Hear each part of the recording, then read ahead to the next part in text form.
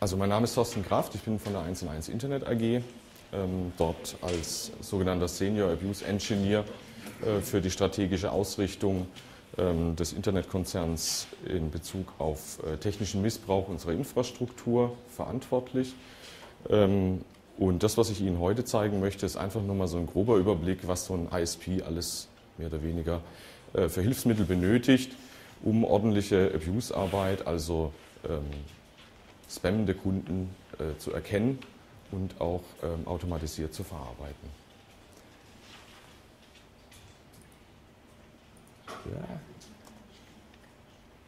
Ja. Äh, dazu möchte ich Ihnen kurz einen Überblick geben über das Unternehmen an sich. Ähm, mache ich auch relativ kurz, hoffe ich mal. Äh, wir sind in mehreren Ländern unterwegs. Das ist einmal Deutschland, das ist im englischsprachigen Bereich äh, England, Amerika, äh, Frankreich und Spanien. Ähm, dort auch den südamerikanischen Bereich. Ähm, die amerikanische Marke macht allerdings auch ähm, mehr oder weniger das Geschäft, dass Kanada, gerade die Länder, wo die Spammer sitzen, ebenfalls involviert werden. Das wäre der DSL-Bereich, äh, das wäre der Hosting-Bereich. Da haben wir insgesamt 3,6 Millionen Kunden, 10 Millionen Domains, die auf diesen bei uns konnektiert sind und 85.000 Server, die zu überwachen wären. Diese Server, die sind Linux-basierend, Windows-basierend oder das, was halt der Kunde an sich auf diese Dedicated Server selbst drauf installiert. Im DSL-Bereich haben wir 3,5 Millionen Anschlüsse, die verwaltet werden müssen ähm, wo trojanisierte Kisten oder sowas äh, zu Hause sein können oder auch irgendwie Missbrauch getrieben werden kann. Und wir sind zudem auch Freemail-Provider mit den beiden Marken web.de und GMX. Alles zusammen eigentlich ein ziemlich großer, großes Spektrum, gibt uns viele Aufgaben, aber auch viele Möglichkeiten, die es bei anderen ISPs auf der Welt so nicht gibt. Die Infrastruktur, so wie wir sie betreiben, ist einmalig.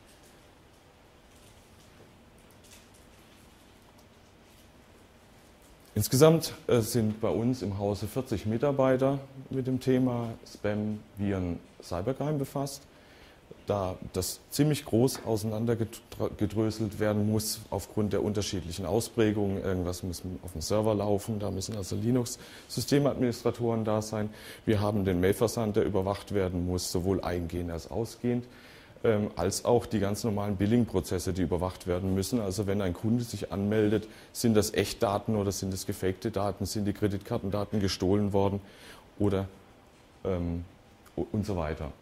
Ähm, deshalb haben wir uns entschieden, damals das klassische Abuse Department, so wie es in anderen Unternehmen tätig ist, äh, üblich ist, wie bei Yahoo oder Hotmail, dass das eine einzige Abteilung ähm, betreut, ähm, dass wir das auseinander dividieren durch drei Abteilungen. Eine Abteilung äh, befasst sich mehr oder weniger mit dem eingehenden Mailverkehr, um sicherzustellen, dass die E-Mails, die ankommen, auch zugestellt werden können in einer gewissen Zeit, aber auch, dass äh, Phishing-Mails, wenn sie erkannt werden können, eben nicht in den Postfächern landen.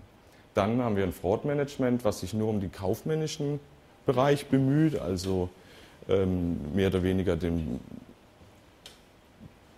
den, den missbräuchlichen Erwerb einer Nutzung von uns unter Angaben falscher Daten und das Abuse Department, was dann mehr oder weniger alle Kunden, die dann durchgerutscht sind und die bei uns äh, mehr oder weniger ihr Zuhause gefunden haben, ähm, dann überwachen und Missbrauch möglichst früh versuchen zu erkennen. Das Abuse Department, in dem ich aufgehängt bin, ähm, sind 15 Mitarbeiter, davon 10 Mitarbeiter, die im operativen Geschäft tätig sind. Also wir sitzen da und arbeiten Tickets ab, die wir generieren. Und äh, fünf Entwickler, die ausschließlich dafür ähm, eingestellt worden sind, um die Abuse-Mechanismen, die wir haben, zu monitoren, zu überwachen, dass die permanent laufen und äh, stetige Weiterentwicklung natürlich. Äh, die Angreifer ändern ihre Muster permanent, also müssen Anpassungen an unseren Skripten passieren. Ähm, das machen fünf Mitarbeiter. Dann sind wir das einzige Department, was in diesen drei Säulen gegen Missbrauch aufgehängt hat, was eine eigene Entwicklerabteilung hat. Alle anderen müssen mehr oder weniger die ganz normalen Projektwege in einem Großunternehmen gehen, also einen Projektantrag stellen, der wird dann abgenickt, einpriorisiert und wenn man heute einen Projekteintrag stellt, wird er in drei bis vier Jahren umgesetzt. Ähm, da werden, das geht natürlich in unserem Bereich, wo wir tätig sind, ähm, auf gar keinen Fall, wenn wir drei Jahre lang ähm, untätig sind. Wir sind gleichzeitig noch äh, Technologiedienstleister für diese beiden Abteilungen und äh, hauen halt so kleinere Mechanismen, die wir selber bauen können, äh, dann mehr oder weniger aus. Bei uns hat Abuse-Thema gibt es bei uns noch nicht so lang. Also eigentlich das Unternehmen an sich ist mehr als 25 Jahre alt, seit 25 Jahren im Webhosting-Bereich unterwegs. Angefangen haben wir damit eigentlich erst im Jahr 2007, ziemlich spät. Ähm, Hintergrund war ganz einfach der, dass wir das Thema wie alle anderen Firmen auch erstmal auf die Seite gelegt haben. Das ist nicht mein Problem. Ich habe damit keine Schmerzen. Ich habe so eine dicke Bandbreite und so viele Server und wenn da ein bisschen Spam rausgeht, ist das nicht mein Problem.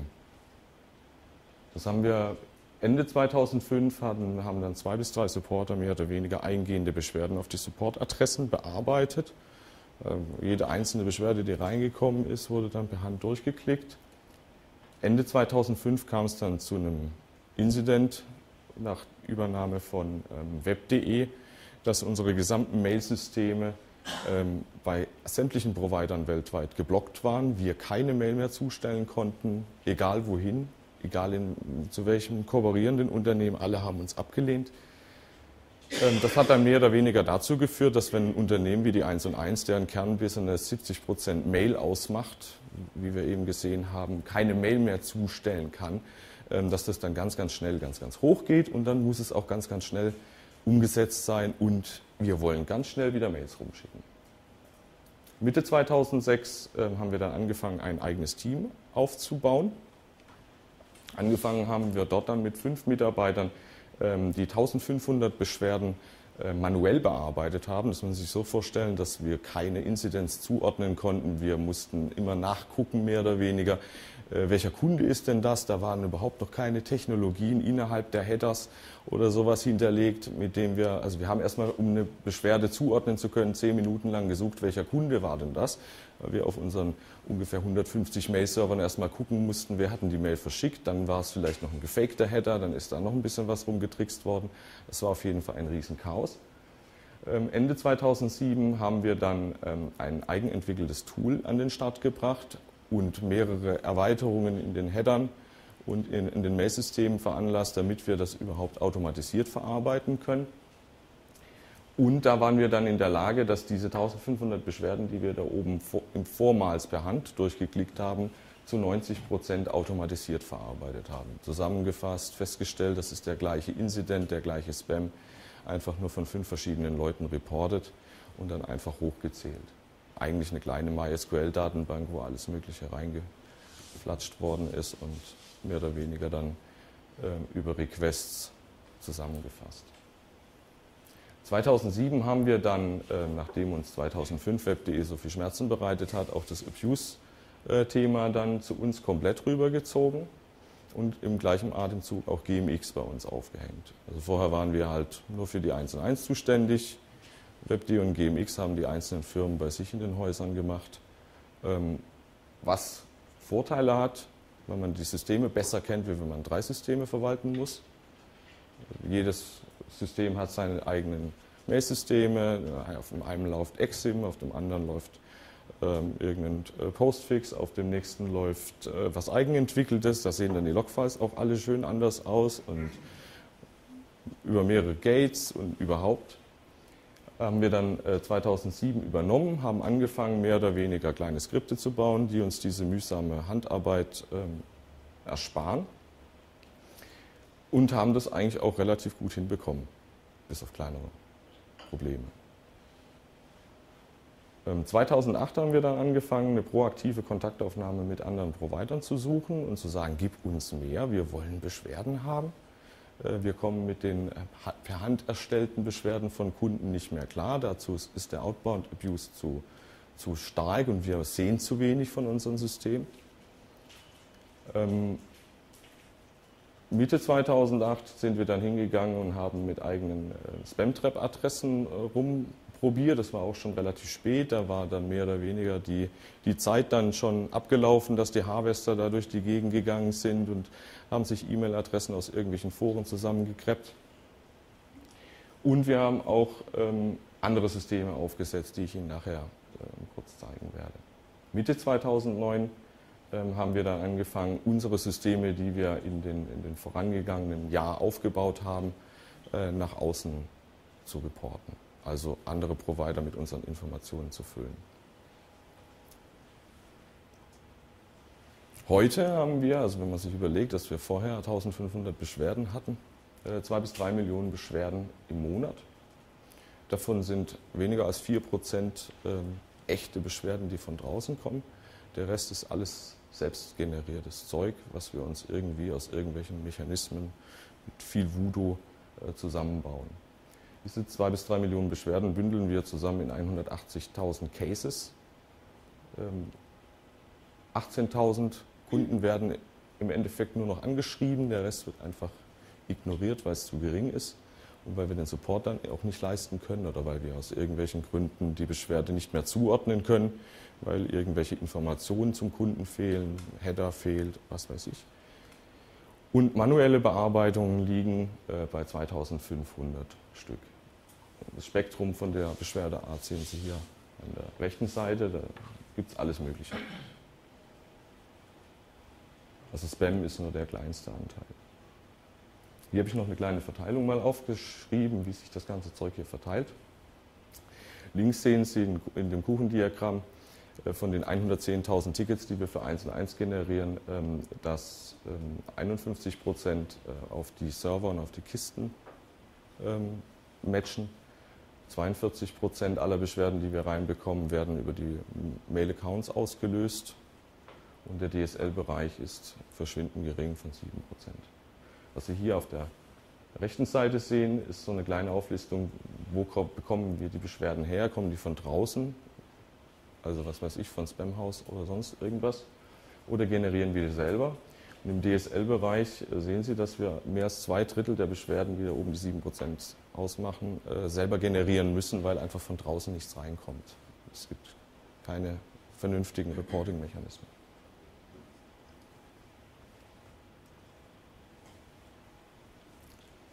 Externe Quellen, eins davon nennen wir Abonym, das ist unser Tor nach außen. Äh, Abonym äh, beinhaltet mehr oder weniger das Wort anonym. Es gibt Beschwerdeführer, die möchten uns zwar Informationen zuleiten, wie die Strafverfolgungsbehörden wollen, aber nicht namentlich genannt werden, wenn irgendwas geschickt wird. Also haben wir einen Anonymisierungsserver zur Verfügung gestellt, wo man uns Beschwerden reintüten kann. Wir schmeißen die ganzen Informationen weg, wo es herkommt und ähm, erstellen dann die Cases blind. Fritze, kommt von Fischers Fritz, fischt frische Fische, ähm, ist auch ein Tool, das wir uns gebaut haben, das werde ich etwas später erklären. Die Feedback Loops, das macht äh, circa 80 Prozent aller Beschwerden aus, die wir von externen bekommen. Das sind User-Generated Feedbacks. Also wenn Sie in Ihrem Hotmail-Account auf den Junkmail-Button drücken oder auf den Spam-Button, löst Hotmail uns einen Alert aus und sagt, das ist Spam. Da gibt es natürlich eine sehr hohe False-Positive-Rate, weil es gibt Kunden, die verwechseln manchmal den Löschen-Button mit dem Spam-Button. Und schwupp landet irgendeine Kundenkommunikation bei uns als Spam. Das muss man alles mit berücksichtigen. Und Einzelbeschwerden. Interne Quellen haben wir eine Live-Log-Analyse. Da sitzen also Skripte auf den gesamten Mail-Servern und analysieren mehr oder weniger alles, was sich da so tut. Wir haben Spam-Traps, wir haben Honeypot-Systeme, wir betreiben Sinkholes und wir haben Scanner, die auf den Webhosting-Kisten sitzen, permanent die Logfiles überwachen, was bewegt sich da, was gibt es da für Anomalien, was kennen wir denn aus vergangenen Angriffsmustern oder und so weiter und so fort. Bei einem Unternehmen wie bei uns, das sind wir bei zwei, bis drei Millionen äh, Beschwerden natürlich auf eine automatische Verarbeitung ähm, angewiesen. Ansonsten können wir diese Wucht der Daten gar nicht stemmen. Ähm, das Problem dabei ist, dass bei Fremdcomplaints, wie ich gerade eben gesagt habe, äh, bei Feedback Loops man nicht, nicht, genau sieht, was es ist. Ist es echter Spam? Hat er, oder ist es einfach nur, ich habe einen Newsletter angeklickt und will den nicht mehr? Ähm, die Datenqualität ist einfach äh, nicht so, dass man sie automatisiert wirklich eins zu eins äh, mitnehmen kann. Dann gibt es Formatunterschiede. Jeder Provider, der schickt da, wenn er was automatisch auslöst, in seinem eigenen Format. Sprich, ich muss jedes Mal die ganzen Beschwerden mir einzeln angucken, muss mir Parser-Module bauen und muss das mehr oder weniger anpassen. Die nächste Mail sieht dann wieder anders aus. Und bei manchen Sachen, wie bei Spam-Trap-Adressen, die man mir als Spam-Traps verkauft, sind äh, meistens nicht wirkliche Spam-Trap-Adressen. Ein Beispiel dazu ist, äh, wenn ich zum Beispiel anna.web.de als Spam-Trap-Adresse eintrage oder so, dann kann das auch ein ganz normaler User mal irgendwo eingetragen haben. Das muss nicht unbedingt Spam sein. Was ein weiteres Problem ist bei Fremdbeschwerden und wenn ich mich darauf verlasse, ist, dass ich eigentlich die Sicherheit meiner Systeme anderen Leuten überlasse. Wenn die irgendwann alle der Meinung sind, sie schalten uns die Mechanismen ab, dann tappen wir wieder im Dunkeln. Was wir machen müssen, ist natürlich auf, versuchen, auf eigene Füße zu kommen.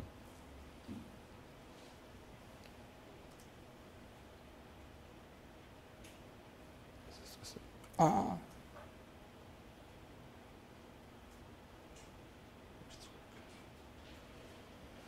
So. Ich möchte das erste System vorstellen, ähm, LiveLog-System. Eigentlich war das dazu gedacht, weil wir angewiesen waren, ähm, Black, auf Blacklisting erst dann reagieren zu können, äh, wenn Kunden sich beschweren, dass sie ihre Mails nicht mehr absenden oder losbekommen. Ähm, das löst natürlich einen riesen Supportaufwand aus und das Problem dabei ist auch, dann ist es eigentlich schon zu spät. Also dann ist das System schon geblockt. Dann geht es eigentlich nur noch darum, das System wieder möglichst schnell ähm, ans Laufen zu kriegen. Ähm, da haben wir uns ein ähm, Tool gebaut, was auf den ausgehenden Messsystemen sitzt und die Zustellstatis überprüft und guckt, ab welchen Werten ein Provider irgendwie komisch reagiert. Zum Beispiel, wenn eine bestimmte Anzahl an nicht mehr existierenden Adressen über die Mail-Relays huscht und ähm, die, die, Mails mit validen Empfängern äh, zu gering sind, dann fangen die an langsam zu drosseln und so weiter und so fort. Die gucken auf die ähm, Absenderadressen, ob da äh, Gmail bei einem 1-1-Mail-Relay in den frommen Leisten drin steht oder die achten auf Pattern. Man, solche Dinge kann man eigentlich in unseren eigenen Logfiles sehen, ähm, muss sie allerdings aufgrund der Menge, die wir da an Mails verschicken, das ist so circa eine Milliarde Mail am Tag, ähm, aggregieren, sinnvoll in irgendeine Grafik packen, um irgendwelche äh, Reaktionen auszulösen.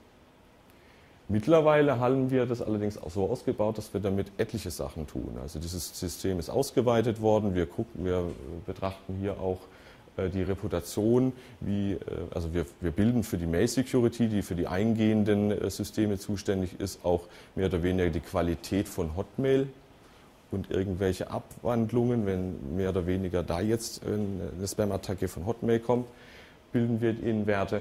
Wir nutzen es dazu, um auf den ähm, eingehenden Mail-Systeme ähm, Blacklisting, Blacklisting-Rejects, die wir selber auslösen, ähm, zu monitoren ähm, und eben auch zur automatischen Erkennung von Blacklistings. Das System sieht dann so aus, dass wir auf sämtlichen Mail-Servern, das sind äh, circa 350 Stück, ein, ein Skript installiert haben, was permanent die Logfiles mitzählt und wenn bestimmte Schwellen immer in, in, regelmäßigen Abständen an einen Server schickt. Dieser Server aggregiert das in der MySQL-Datenbank. Ähm, die erste MySQL-Datenbank, die löst ein Alerting aus, entweder an uns selber oder an eine dritte Partei. Und auf der anderen Seite äh, werden die Daten in eine neue ähm, MySQL-Datenbank geschrieben, die aggregiert wiederum und macht eine Statistik-Frontend, was dann aufgerufen werden kann, das ganze Ding grafisch darstellt. So sieht zum Beispiel aufgrund des Mechanismus ein nahender Block aus. Das ist noch kein durchgeführter Block, das ist ein nahender Block.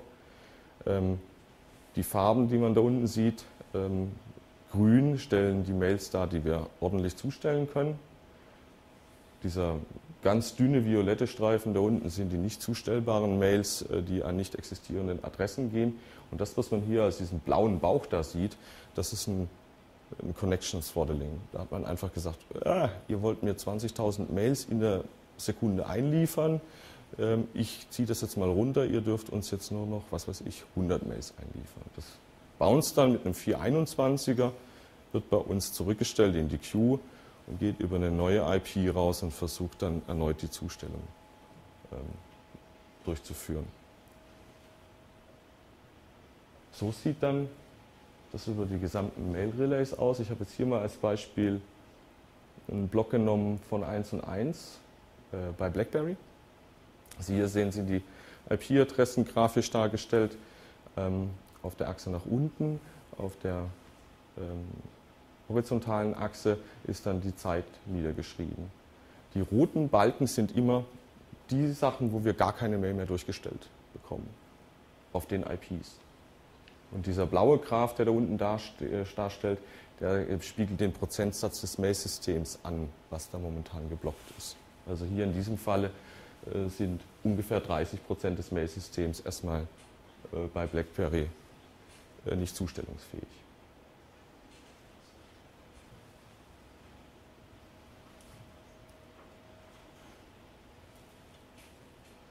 Ein weiteres System, was wir nutzen, ist eine Spam-Trap. Ähm, das ist praktisch das, was ich eben erklärt habe. Man legt im Internet über verschiedenste Mechanismen E-Mail-Adressen aus und wartet darauf, dass da irgendjemand eine Mail hinschreibt und sagt dann, das kannst du gar nicht da hinschreiben, weil die E-Mail-Adresse gibt es gar nicht. Wir nehmen die Mails an, untersuchen mit verschiedenen Algorithmen erstmal die ähm, Art des Spams herauszufinden. Was ist es? Ist es ein Phishing-Mail? Ist es ein Newsletter? Ist es whatever? Und versuchen dann natürlich ähm, nachzugucken, je nachdem, was es ist, äh, sind da Links enthalten, wo eine Malware mit promotet wird, ist eine E-Mail-Adresse drin für einen Nigeria-Spammer, wo eine Dropbox dahinter ist. Wo kommt die Mail überhaupt her? Ist die aus unserem Bereich oder kommt die sonst irgendwo her? Ist vielleicht ein Attachment dabei? Etc. pp. Alles wird aggregiert, in Datenbanken geblasen und je nachdem, was es halt ist, ein Report ausgelöst, entweder an uns selber oder nach extern. Ähm, wir arbeiten da zusammen mit mehreren Projekten. Eins davon ist äh, Project Honeypot. Das ist ein weltweit operierendes Teil. Arbeiten mehrere Millionen Leute am gleichen Ziel, eben Spam zu bekommen. Dann haben wir mehrere Honeypot-Systeme. Honeypot-Systeme, sagt Ihnen das alles was? Also Systeme, die mehr oder weniger vorspielen, irgendwas zu sein und es dabei doch nicht sind und einfach gucken, was will der mit mir anstellen. Ziel dabei ist es, Angreife, äh, Angriffe aus dem eigenen Netz zu erkennen, zu analysieren, was will der überhaupt mit mir anstellen, will der mich mit Torpik infizieren, wenn ja, dann ist er sicherlich selbst mit Torpik infiziert wenn dem so ist, wird einfach nachgeguckt, ist es ein Kunde von uns oder ist es eben kein Kunde von uns. Wenn es ein Kunde von uns ist, kriegt er, äh, läuft er halt in den Regelprozess rein und alle anderen werden nach draußen geblasen. Da betreiben wir mehrere verschiedene. Wir haben ja nicht nur den DSL-Bereich, ähm, sondern auch ähm, Webhosting-Angriffsmöglichkeiten, wenn Joomla angegriffen wird, um eine Phishing-Seite abzulegen, etc. pp.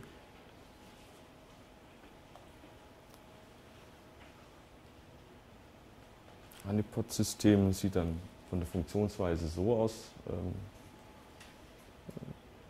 dass es sich infizieren lässt. Es wird mitgeschrieben, welche IP hat die Infektion durchgeführt. Das Honeypot-System wird ja dann durch den infizierenden PC aufgefordert, die Malware runterzuladen. Wir ziehen uns die Malware, schicken die ins interne Netz rein prüfen die gegen eine Datenbank ab. Kennen wir die Malware, kennen wir sie nicht? Was ist es für eine Malware? Wie ist die Erkennungsrate von dem Teil?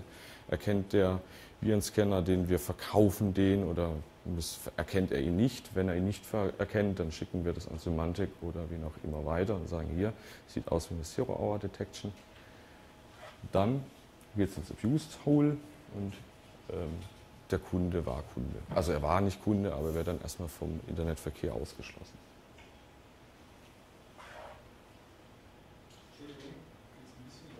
Ja, klar.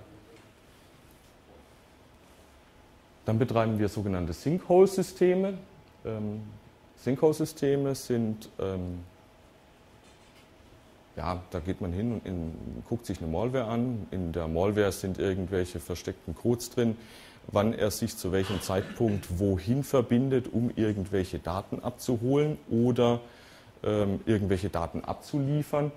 Ähm, da gibt es ein paar Trojaner, die, die haben einen Algorithmus dahinter sitzen, den kann man zurückrechnen.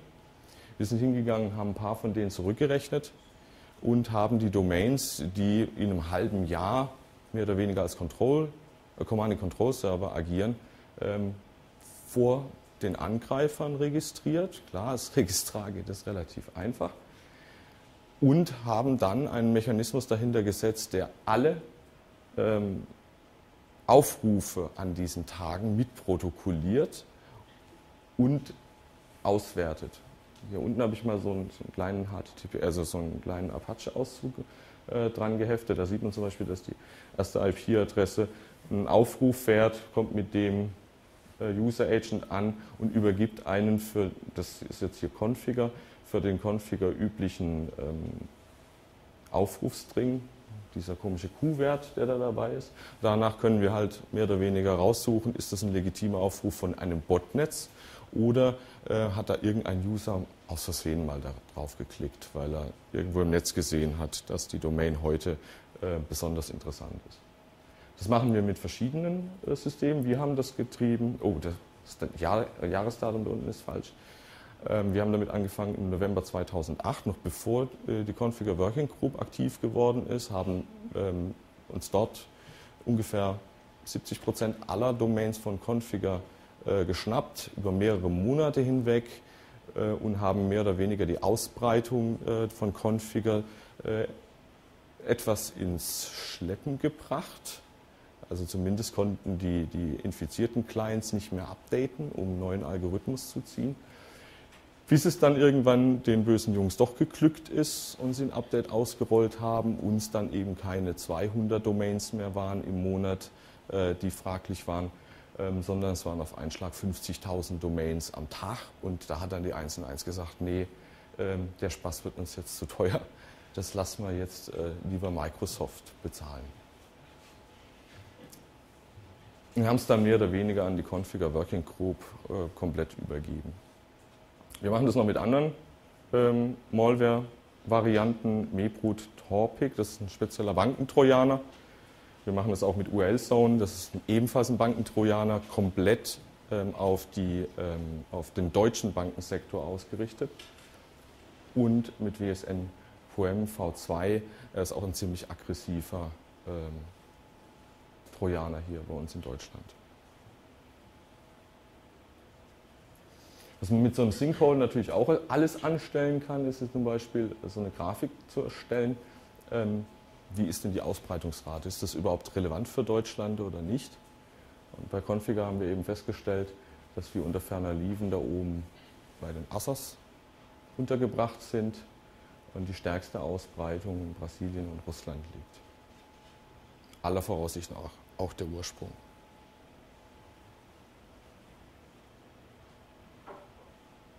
Das lasse ich mal weg. Wohl. Auf den Webhosting-Maschinen haben wir auch ziemlich viel draufgepackt, um zu überwachen, was da läuft. Wir gucken einfach, wie lange laufen da irgendwelche Skripte. Ist das normal, dass ein Skript fünf Stunden am Stück läuft und nach einer Stunde neu anfängt und dann baut sich das proportional auf? Ähm, oder wir versuchen ähm, zu detekten, ob irgendwelche Kisten gehackt worden sind und ein IRC-Bot installiert wird, um einen Command-and-Control-Server entstehen zu lassen. Das sind meistens Python-Skripte, die sich dann an irgendwelche Ports binden, ähm, was man normalerweise so nicht tut. Dann haben wir eine Webspace-Forensik, die wir von unserem Tool anstoßen können. Also es kommt ein Complaint rein bei uns ins, äh, ins Bearbeitungstool ähm, und äh, es wird dann mehr oder weniger ähm, automatisiert ein Scan dieser betroffenen Kiste ausgelöst. Wir suchen nach bekannter Schadsoftware. Das läuft generisch ab, also es werden nur nach bestimmten Pattern gesucht. Und wir bereinigen den Webspace des Kunden automatisiert, äh, wenn es eine Massenattacke ist. Hintergrund ist einfach, die Kunden sind bei uns total überfordert. Ähm, die kommen, ähm, können sich zwar einen Schumler installieren, wenn das Ding aber kompromittiert ist, dann fehlt es auch schon am Know-how. Und wir haben einen proaktiven Scan auf den Kisten drauf, äh, wo wir eben nach aktuellen Bedrohungen aktuell ähm, permanent suchen. Dann dieser Fischers Fritz fischt frische Fische. Ähm, eigentlich war das dazu gedacht, äh, CleanMX-Daten sich automatisiert zu ziehen. Äh, die lösen keine Complaints aus, die per Mail reinkommen, sondern wir mussten hingehen und mussten uns Mechanismen schaffen, wo wir auch Webseiten abfragen können, proaktiv. Äh, mittlerweile sind die Phishing-Attacken auf unseren Kisten zurückgegangen. Ähm, größte Problem, was wir aktuell haben, sind äh, Malware-Seiten, die bei uns gehostet werden, also infizierte Webseiten vom Hasenzüchterverein, Foren-Spammer oder irgendwelche Spam-Advertising. Da ziehen wir uns Listen, unter anderem von Semantic, von Serbel, äh, von Tim Camro, von wem auch immer. Das ganze Zeug wird zusammengefasst, wird geguckt, ob es bei uns liegt. Wenn ja, wird es bei uns reingepusht und ansonsten erstellen wir je nach Sinnhaftigkeit, ähm, lösen wir einen Report an unser ähm, Fraud Department aus und sagen, nimm mal von dieser Kiste nichts entgegen, das ist ein offener Proxy oder whatever.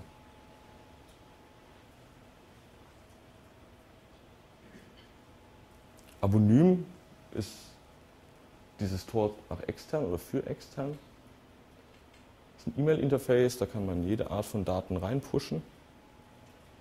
Das System spricht eigentlich alle gängigen Formate, nimmt die automatisch auseinander, prüft auf ähm, Wichtigkeit, prüft auf Häufigkeit, prüft auf alles Mögliche, ob es zu uns gehört und löst dann entweder ein Complaint an uns aus, um den Kunden dann automatisch zu verarbeiten oder aber ähm, einen Abuse Complaint an einen anderen ISP.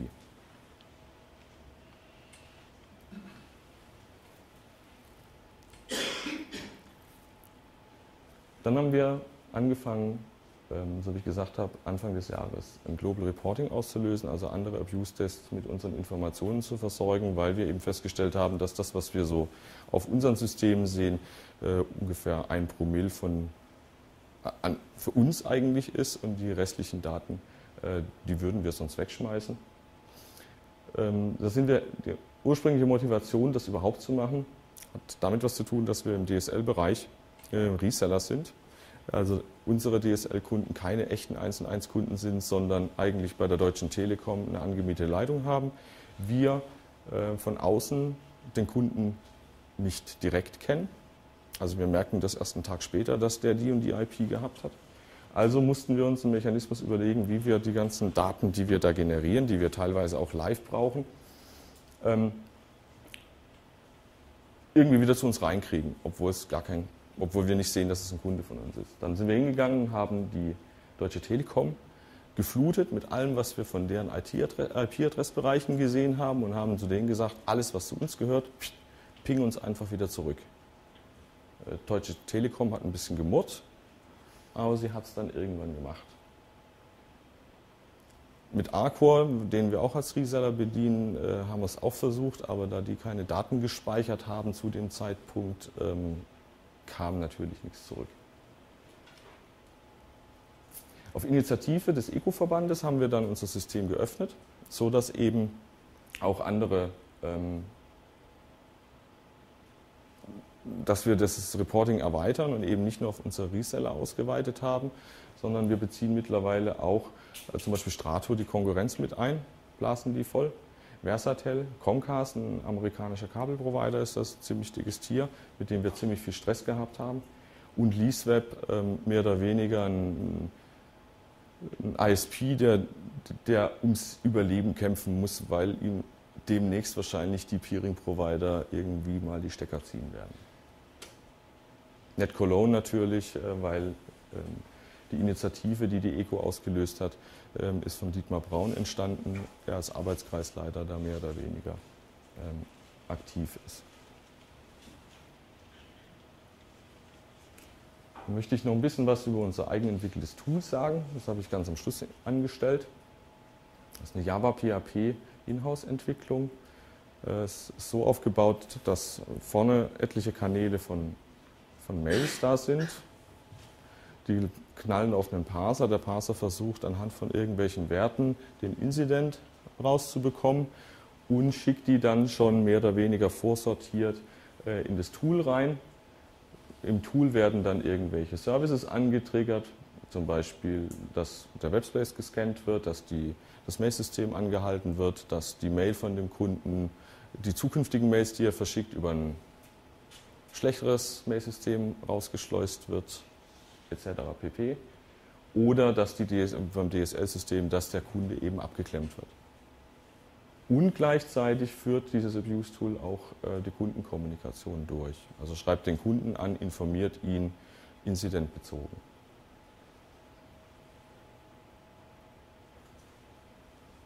Das Handling ist aufgebaut in fünf Schritten. Es kommt eine Beschwerde rein, die wird eben, wie gesagt, gepasst.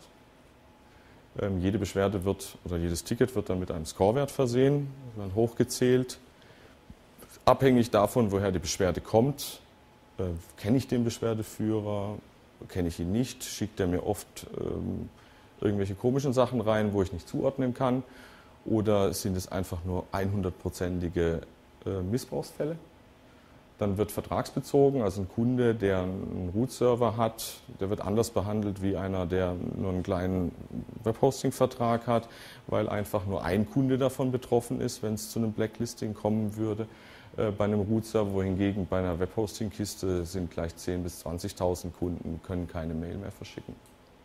Dann eskaliert es ab bestimmten Schwellwerten. In den Eskalationen selbst sind irgendwelche Sperren hinterlegt, Anschreiben oder sonstige Aktionen.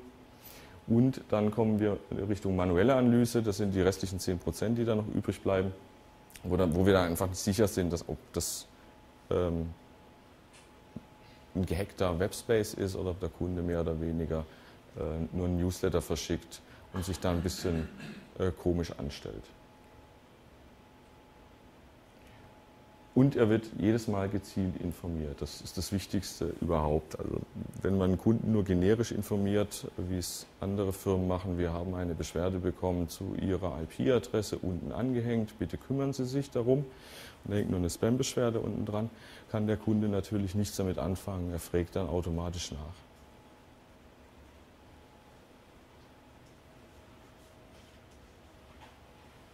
Das Abuse-Tool hat ein Regelwerk, das ist jetzt zum Beispiel ein Regelwerk für GMX, was ich da zusammengebaut habe.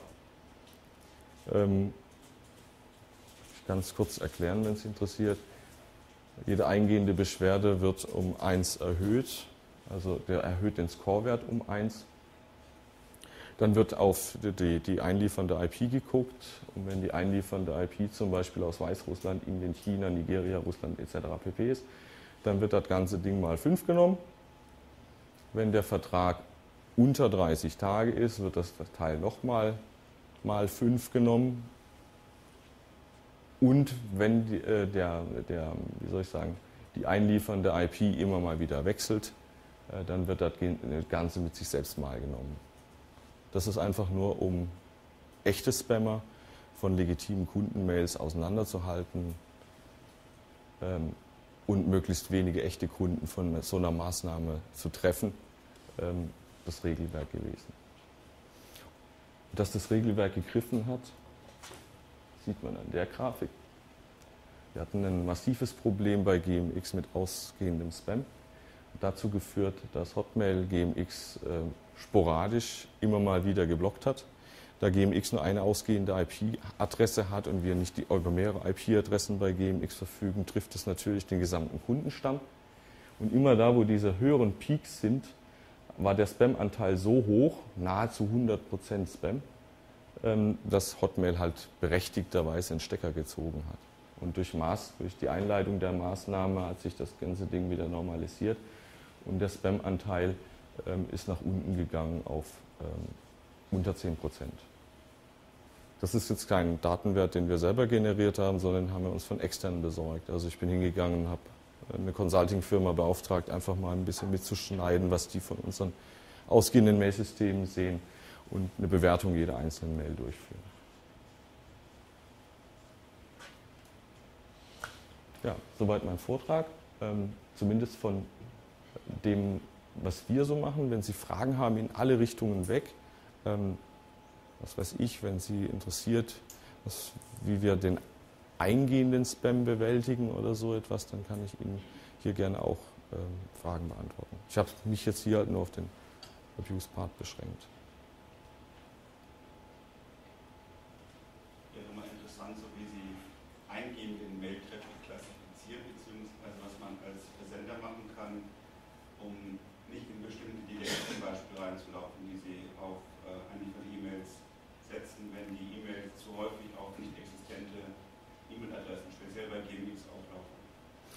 Ja, bei GMX gibt es einen Bug, um es gleich vorauszunehmen. Ähm, wir haben äh, von Lycos, Lycos hat ja seinen Dienst zur, zur Hälfte eingestellt, also seinen Maildienst eingestellt. Ähm, United Internet hat ähm, einen Großteil der bestehenden Lycos-Kunden übernommen und ins GMX-System migriert, vor allem den französischen Lycos-Service. Äh, Dabei hat man nicht beachtet, dass wenn man natürlich nur einen gewissen Anteil von Mails, also Mailadressen übernimmt und nicht alle, äh, dass dann die ganzen Score-Regeln nicht mehr greifen können. Weil die ganzen Massenversender haben natürlich, äh, was weiß ich, alle Bestandskunden bis zum Tag X noch anschreiben können.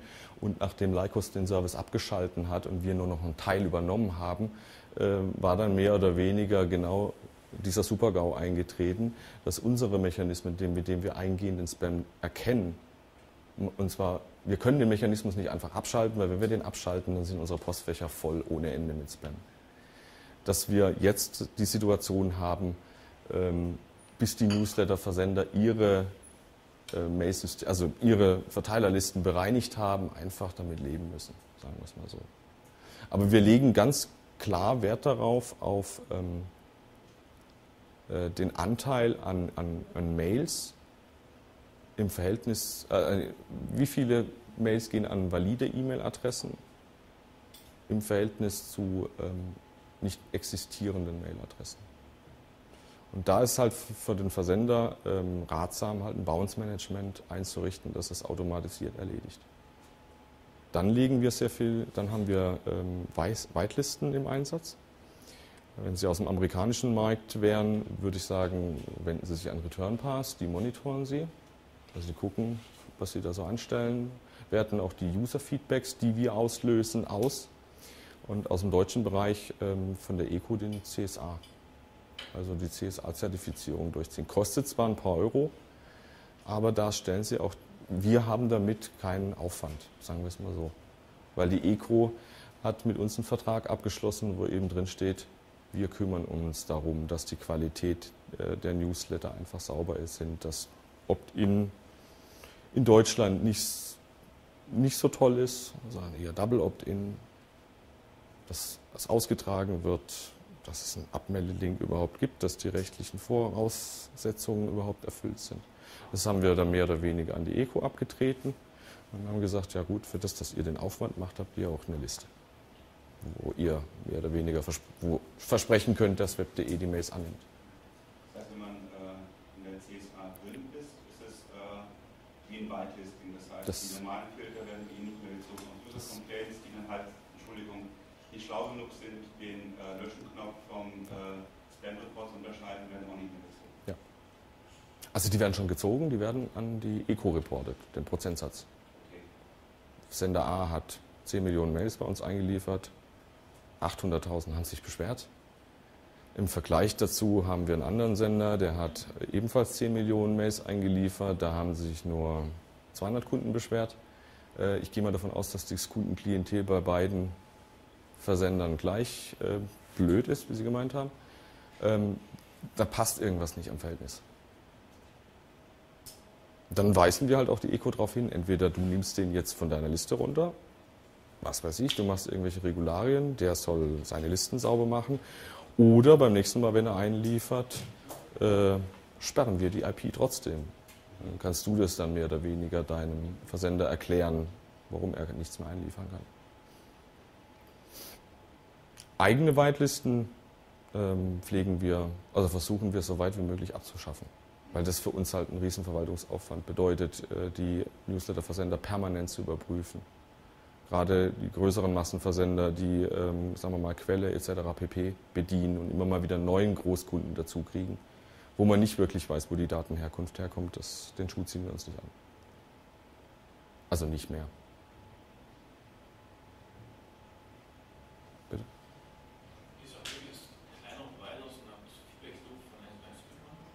Wie bitte?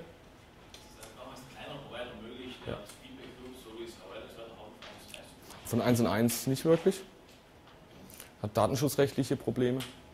Äh, durch das, dass wir gesagt haben, User-Feedback ist äh, nicht unbedingt diese Gewährleistung, dass es tatsächlich als Spam ist, sondern es könnte genauso äh, personenbezogene Daten drinstehen, was weiß ich, äh, Kreditkarteninformationen etc. pp. Und ich würde das einer dritten Person einfach so zuleiten, ohne dass der ursprüngliche Absender das weiß, ist ein bisschen schwierig.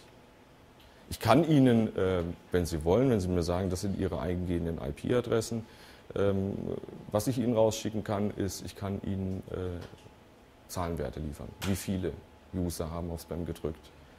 Wie viele Mails? Ähm, wo ist die Mail gelandet? Ist sie direkt im Posteingang gelandet? Ist sie in Unbekannt? Hat irgendein anderer Spamfilter bei uns zugeschlagen und hat sie in einen Spam-Verdachtsordner geschoben? Solche Sachen kann ich Ihnen äh, durchreichen. Was ich nicht machen kann, ist die Mail an sich. Ähm, alles, was ein personenbezogenes Datum enthalten kann, darf ich nicht aus deutschem Recht.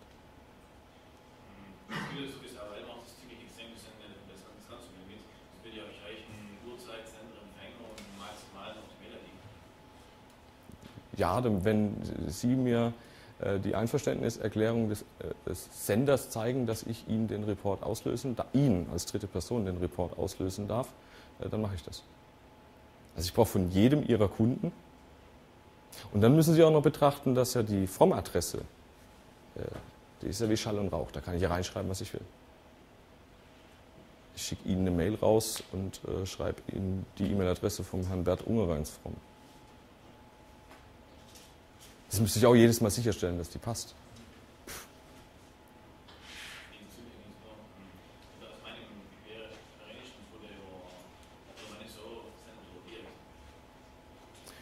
Also was wir machen, das ist vielleicht auch für Sie als kleiner Provider interessant. Ähm, wir haben genau die gleichen Probleme gehabt, dass wir halt stundenlang gesucht haben, bis wir den Kunden zuordnen konnten. Wir haben uns in die Header äh, verschlüsselte Metadaten reingeschrieben. Wenn der Report rauskommt oder wenn er an uns zurückpingt, können wir anhand dieses, dieses entschlüsselten Parts mehr oder weniger den Kunden sofort zuordnen. Wenn Sie mir sagen, dass diese Header-Zeile bei Ihnen existiert, dann schicke ich Ihnen die gerne zu. Wenn Sie sowas haben. wenn die immer an der gleichen Stelle steht, das ist natürlich auch Voraussetzung. Sonst habe ich ein bisschen Schwierigkeiten. Äh, allein schon wegen der Masse, die wir da durchschleusen.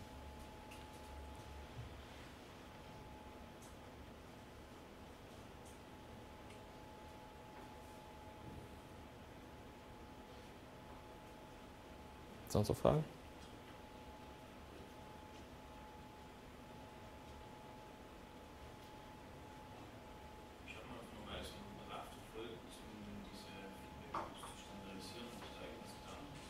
Diese AFs?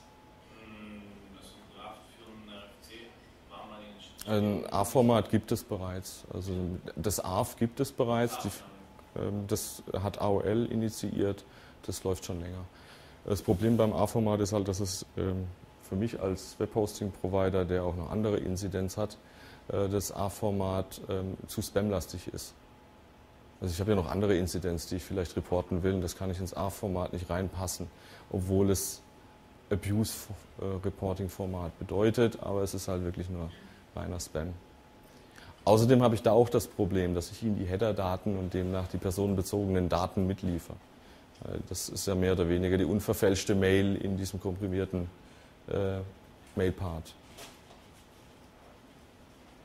Aber wie gesagt, Statistiken, wenn Sie mir ähm, Frontends, wo, wo, Sie eingeben können, Mail-Server mit der IP-Adresse ABC, in deren der Zeitspanne, äh, wie sieht der denn reputationsmäßig bei, äh, dem, bei der United Internet AG aus, so einen kleinen Graphen über die Zeitspanne hingestellt. Ähm, das ist in Planung, dass wir das machen. Also dass jeder externe Einlieferer mehr oder weniger sein Mail-System bei uns angucken kann und auch die Gründe sieht, warum er so schlecht dasteht oder warum er so gut dasteht. Nur sein Mail-System oder jedes beliebige Mail-System? Nee, nur sein Mail-System. Ja, er kriegt halt an die Abuse-Adresse, also Sie haben ja eine IP-Adresse, eine feste, und da ist eine, äh, eine, technische Kontaktadresse angegeben und da wird ein, bevor er diesen Login bekommt, ein genau diese bei der RIPE hinterlegte E-Mail-Adresse, ein, ein Opt-in ausgeführt.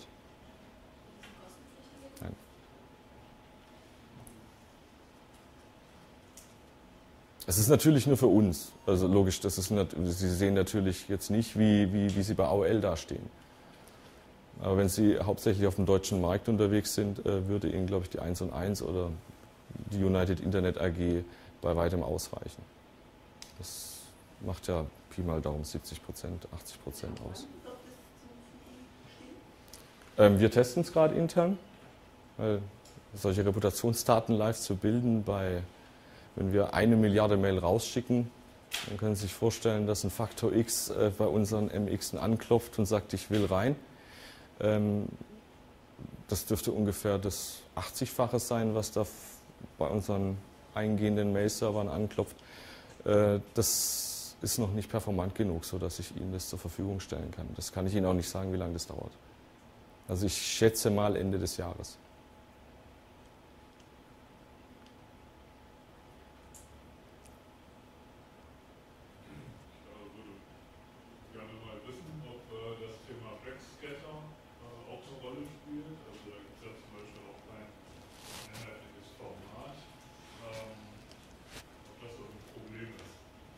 Uns.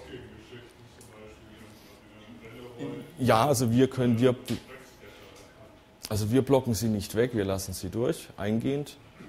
Ähm, ausgehend, wenn wir sehen, dass ein Kunde irgendwie backscattert, also irgend, äh, was weiß ich, seinen ähm, Mail-Server so konfiguriert hat, dass er nicht im SMTP-Dialog äh, Mails abweist, sondern erstmal annimmt und irgendwie im Hintergrund dann nochmal ablehnt. Ähm, das sehen wir ziemlich massiv. Also da nehmen wir Kunden gnadenlos vom Netz. Weil Backscatter ist, äh, haben die Gefahr eben, dass man ganze Mail-Systeme kaputt machen kann. Und wenn das über unsere SMTP-Out, also wenn, wenn der Kunde dann noch eingestellt hat, dass die ganzen Mails über unser Mail, ausgehendes Mail-System geschleust werden, äh, dann äh, blocken uns ganze Mail-Systeme, nur weil ein, eine Person A nicht in der Lage ist, seinen Mail-Server sauber aufzusetzen.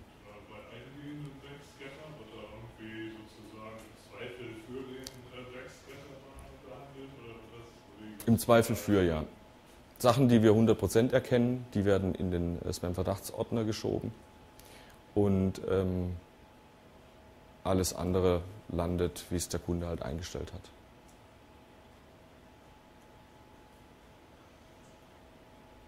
Generell ist es bei deutschen ISPs eben so, es dürfte bei Ihnen auch nicht anders sein als, als normale Mail-Server-Provider. Wenn ich eine Mail annehme, muss ich sie zustellen. Ich kann sie nicht mehr wegschmeißen. Äh, bleibt mir nur die Möglichkeit, das in den Spam-Verdachtsordner zu schieben.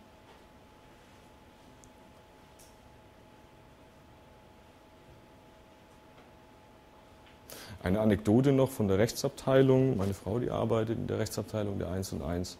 Kunde hat von uns eine Phishing-Mail zugestellt bekommen, also eingehende Phishing-Mail landet im Postfach. Äh, sie ist auch im Spam-Verdachtsordner gelandet. Also sie war nicht im normalen Posteingang. Ähm, der gute Herr äh, drückt auf diesen Link, denkt an nichts Böses, obwohl alles Mögliche blinkt und blitzt und überhaupt, gibt seine Phishing-Daten da ein und kommt so nach einer halben Stunde auf die Idee, Mensch, war das vielleicht gut, was ich da gemacht habe, diese ganzen roten Banner da wegzuklicken. Und hat dann aber gedacht, oh scheiße, jetzt muss ich diese Passwörter, die ich da eingegeben habe, das war eBay-Phishing, dieses Passwort, was ich verwende ich überall. Das muss ich jetzt auf meinen 700 Mail-Accounts überall abändern. Hat es dann gemacht, er war selbstständig, hat Stoppuhr eingeschalten und hat die ganze Änderungszeit, die er gebraucht hat, äh, mitprotokolliert. Als er fertig war, wieder auf Stopp gedrückt, seinen Stundensatz genommen, den er so als, ähm, wie soll ich sagen, als, als Selbstständiger eben abrechnet und uns als Schadensersatz in Rechnung gestellt, weil wir eben eine Phishing-Mail fälschlicherweise ins Posteingang, also in den Spam-Verdachtsordner ähm, eingelöst, also reingelegt haben. Also das sind jetzt zum Beispiel solche Fälle, die bei uns aufpoppen. Ist das noch ein laufendes Verfahren oder wie das keine, das geht in die große Ablage P.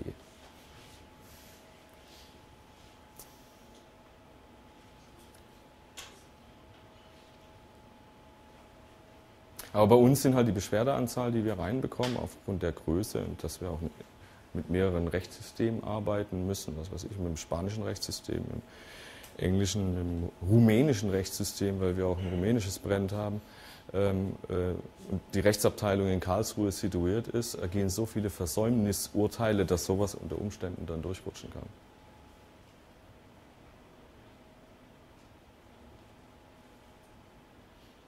Dann die Botnetz-Geschichte, da kann ich auch noch was dazu sagen. Warum machen wir das überhaupt, äh, wenn äh, mich um diese Kundenrechner da kümmern? Das ist ein ganz einfaches Problem, ähm, ganz einfachen Grund. Was ich an meinen Mailsystemen sehe, diese 99 Prozent der Mails, die ich an meinen Mailsystemen schon IP-mäßig ablogge, weil sie aus dem dynamischen IP-Adressbereich kommen, die kosten mich ein unheimliches Geld. Ich könnte meine Infrastruktur um einen Faktor 10 verringern. Ich hätte viel, viel weniger Traffic, der über mein äh, Netz huscht was weiß ich, ob es ein DDoS ist, der über meine Leitungen durchknallt, weil ich der Telekom natürlich äh, die Kapazität, also ich habe bei denen ja keine Flatrate eingekauft, sondern äh, ich versuche ja billiger zu sein als die Telekom, also kaufe ich irgendwelche Kontingente ein und versuche da ein bisschen mit einer Mischkalkulation zu gucken, dass das immer so ein bisschen passt, dass ich noch einen Gewinn rausziehe. Ähm, das kann natürlich bei solchen Botnetzen, die dann wirklich massiv irgendwie anfangen zu spammen oder massiv irgendwie äh, anfangen zu dossen, ganz, ganz schnell in die Tausende von Euro gehen. Und auf der anderen Seite, warum wir das machen, äh, ist ganz einfach, Kunden springen uns ab. Kunden haben eine 6000er Leitung bestellt, DSL-Leitung, und wundern sich äh, und, und, beschweren sich, dass wir die äh, ihnen versprochenen 6000 äh, 6 Megabit eben nicht zur Verfügung stellen. Wenn man sich das genauer anguckt, wir stellen die Ideen zur Verfügung, das Problem dabei ist nur, diese Kisten, die blasen so viel Traffic raus, ähm, dass da einfach nicht mehr viel übrig bleibt. Also ich hatte den, den, mir ist das aufgefallen, als ich mal einen DDoS auf unsere eigene Nameserver-Infrastruktur bearbeitet habe und habe ein paar Kisten von uns rausge rausgesucht, die bei uns sitzen und habe mir die Kisten mal näher angeguckt und habe den Kunden angerufen und habe gemeint, der soll mal bitte äh, Wireshark installieren, ein bisschen von seinem Netztraffic mitschicken und mir das mal zukommen lassen, damit ich irgendwie an den Command-Control-Server komme, um diesen DDoS abzuschalten. Und wenn man sich diese Kundenfälle angeguckt hat, war überall genau dieser Schritt zu sehen. Der hat mit einer 6000er Leitung angefangen, hat dann abgegradet auf 16.000. Es gibt tausende von Beschwerden drin, dass die Leitungskapazität nicht passt und gekündigt. Also so von, nur so als kleines, kleiner Hintergrundgedanke, warum wir diesen ganzen Zauber da machen. Also wir wollen den Banken da nichts Gutes, dass wir da die Torpicks da von, von den Büchsen blasen, sondern es ist einfach nur äh, Überleben, also nicht Überlebenskampf, das hört sich jetzt auch wieder übertrieben an, aber einfach nur, sagen wir mal, den Kundenstamm festhalten. Es hat einen ganz einfachen monetären Hintergrund. Das, was wir da ausgeben, das holen wir andererseits wieder rein.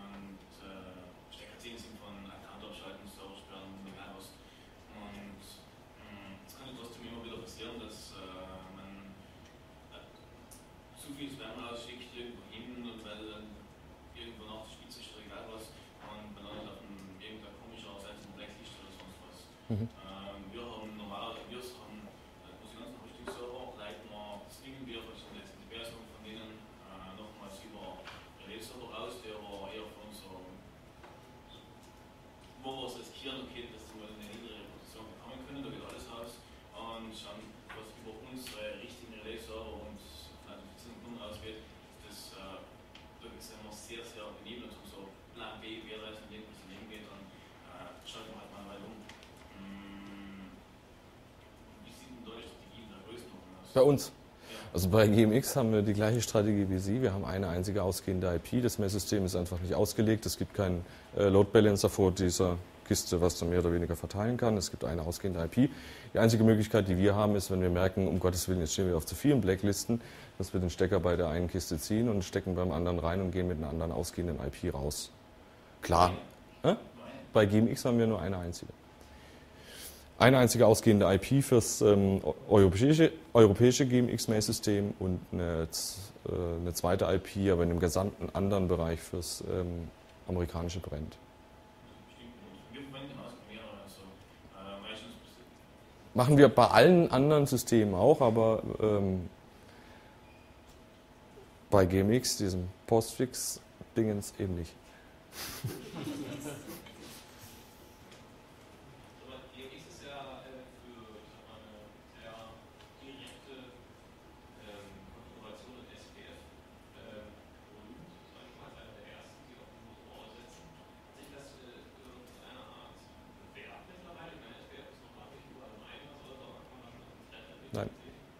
Schwierigkeiten mit den Forwards. Also beim eingehenden, äh, also beim, beim, beim eingehend äh, SPF zu checken, das machen wir auf allen Marken. da machen wir sehr gute Erfahrungen mit. Ausgehend ist es nicht ausgereift. Also Forwards ein Beispiel. Das, wir doktern eher mit SRS rum, mit SPF. Aber wir nutzen das halt auch nicht, um irgendwie. Aber wir haben das, äh, bei GMX ist es halt smarter, weil man die, ähm, man kann den, den From nicht faken. Also es ist eine fest eingestellte, äh, fest eingestelltes From, man hat, kann immer nur den, äh, den Account, also die GMX-Adresse im From drin stehen haben, die man auch tatsächlich bedient. Ansonsten nimmt er beim äh, nimmt der SMTP-Server die Mail gar nicht erst an und sagt, pff, dich kenne ich nicht. Und das Passwort passt nicht. Bei allen anderen Marken ist es halt so, dass wir das freigemacht haben. Bei web.de äh, geht es nur über einen Opt-in, also Sie können nur eine From-Adresse in, in, ähm, eintragen, äh, wo Sie vorher einen Pickup-Link geklickt haben. Also Sie tragen da eine alternative Absenderadresse ein, kriegen dann eine Mail zugeschickt und müssen in diesem Postfach eine Mail entgegennehmen. Erst dann ist es aktiviert und Sie können unter der From-Adresse raussenden. Ähm, bei 1 und 1 können wir das gar nicht machen. Also wenn wir das bei 1 und 1 machen würden, ähm, haben, bedienen wir ein ganz anderes Kundenumfeld.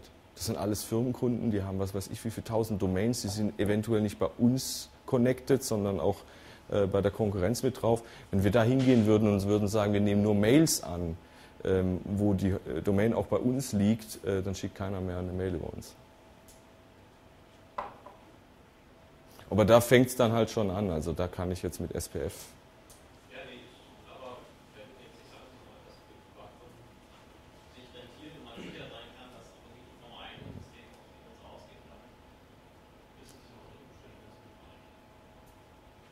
Also was wir machen momentan ist dieses Trusted Dialog. Ich weiß nicht, ob Ihnen das was sagt.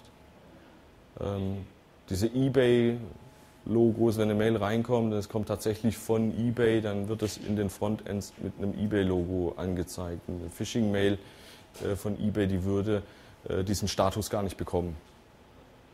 Das ist aber ein proprietäres System, sprich eBay hat da irgendeinen Client, äh, der genau diese Signatur erzeugt. Das ist kein, kein DKIM oder sonst irgendwas, das ist ein proprietäres Zeug. Und unser Client, äh, unser Mail-Server auf der eingehenden Seite, der, der weiß genau, wenn von der IP-Adresse eine Mail ankommt, die so signiert ist, dann ist es eine echte Mail.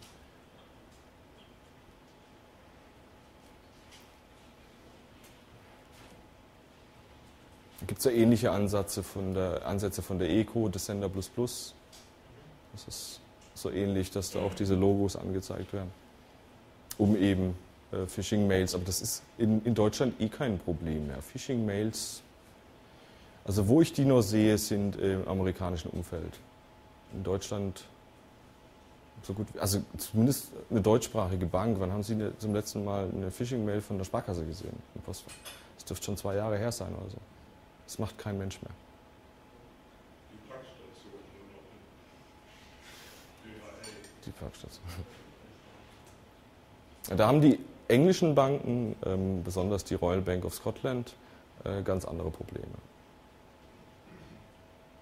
Also da gibt es viel, viel mehr Phishing. Wenn ich da einfach mal ähm, die Statistiken mir anguckt äh, aus UK oder aus Spanien, das sind jetzt die beiden Länder, die mir als erstes in Europa einfallen, da sieht, das, sieht das E-Mail-Phishing ganz anders aus. Hier in Deutschland haben wir eher das Problem mit diesem Nigeria-Spam.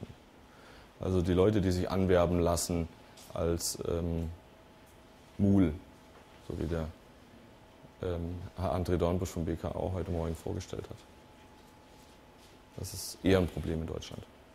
Dass es immer mehr Leute gibt, die auf solche Sachen reagieren.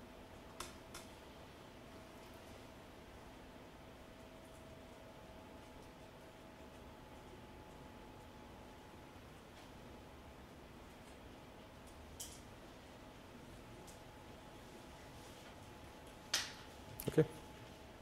Und vielen Dank, dass Sie zugehört haben. Ich hoffe, ähm, es war nicht zu langweilig. Ähm, das sind meine Kontaktdaten, wenn Sie irgendwelche Fragen sonst noch haben, wenn Ihnen morgen was einfällt, wenn Sie irgendwas wissen wollen. Sie können mich jederzeit ähm, per E-Mail erreichen. Telefonisch ist ein bisschen schwierig. Ich habe Sie trotzdem mal dazu geschrieben. Ähm, per Mail antworte ich in der Regel eigentlich relativ zügig. Okay?